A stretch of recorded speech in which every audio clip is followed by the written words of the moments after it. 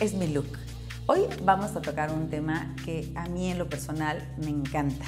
Porque sí, yo desde las 8 de la mañana ya estoy con el pincel, ya estoy con la ceja, ya estoy maquillándome porque disfruto el maquillaje. El maquillaje como tal siempre debe de ser enfocado en vernos mejor, en vernos arregladas, en traer las cosas, yo digo, en su lugar, porque hay que poner el blush, hay que poner el corrector, la luz, la sombra y demás.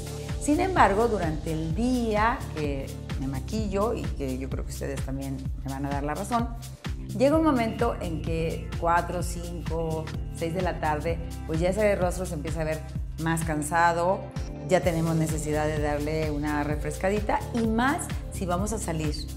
Si tenemos un evento en la noche, podemos no tenemos que ir a lavarnos la cara y quitarnos la máscara de pestañas y todo, porque imagínense, si quitan la máscara de pestañas se irritan los ojos, si lavamos otra vez la cara, pues tenemos que poner otra vez hidratantes. Entonces, no tenemos que hacer eso. Lo que tenemos que hacer es, por ejemplo, poner un maquillaje como un BB cream que le dé una refrescada a lo que ya traemos, algo que hidrate también, pero que tenga tonalidad.